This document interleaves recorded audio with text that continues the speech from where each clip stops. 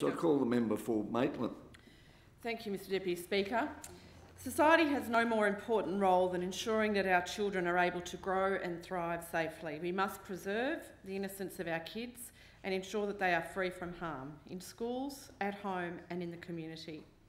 Today in this place I moved a notice of motion calling on the government to conduct consultations on the increasing number of sexual assaults at primary and secondary schools in this state as well as vocational institutions as part of their development of the New South Wales Government's sexual assault strategy.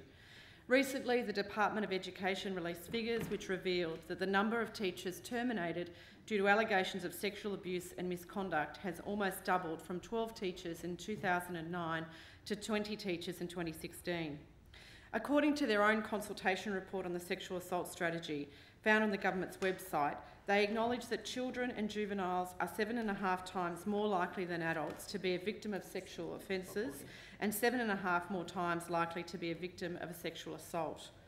It is completely inexcusable that in this modern era, 20 teachers have been stood down for alleged acts of sexual abuse or misconduct. Those who would inflict harm on our children must be removed from our schools and never allowed to return. But most importantly, they should never have been employed in the first place. There have also been disturbing numbers of cases involving children committing sexual assaults on other children at primary schools, with victims being as young as five or six years of age. Last year, after one such case where two Year 6 students allegedly sexually assaulted a six-year-old girl, the Shadow Minister for Education and I requested a briefing from the Minister to elaborate on this matter. Whilst the department representative told us that the response of the, about the response of the school to this act, they were unable to provide any briefing about the prevalence of these crimes across our education system, or even a case, uh, uh, or even briefing about a case which had occurred at a private primary school in early 2016. I do not blame the department's representative for this, for it was not her role to know or provide this information. However, the question for me remains unanswered. What is the government doing from a strategic view to address sexual assault, harassment and rape in our schools? With the recent release of statistics on the number of teachers who've been terminated due to sexual assault of students, it's been revealed that for the last six years, this government has been asleep at the wheel on this issue. In September 2016, Sydney Morning Herald journalist Rachel Olding reported that the only service that deals with rehabilitating children who commit sexual crimes, New Street, has a waiting list that is four times the capacity of the program. And earlier that year, in April 2016, Patrick Begley, also of the Sydney Morning Herald, reported that children commit up to half of all child sex abuse and that half of that involves a, a sibling molesting another. More than 800 children are reported in New South Wales each year for causing serious sexual harm to other children, and much of the abuse goes unreported. According to Mr Begley, in April 2016, two years after a report recommending doubling the number of clinics, the government has no plans to increase funding.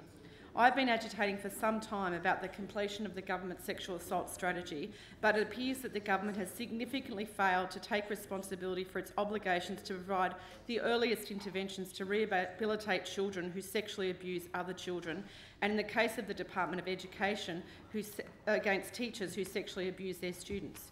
It appears that the government is even failing to ensure that the teachers who look after our students, those who could provide positive role models for all young people, are safe to be in schools.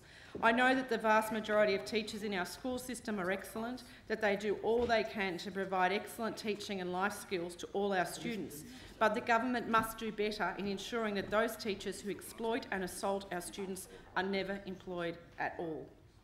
In recent years, our newspapers, radios and television screens have been filled with instances of teachers acting improperly towards children.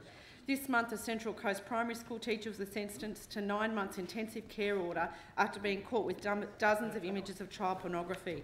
In January, a teacher who formerly taught at a private primary school was sentenced to jail for 11 years after he was found guilty of sexually abusing six children.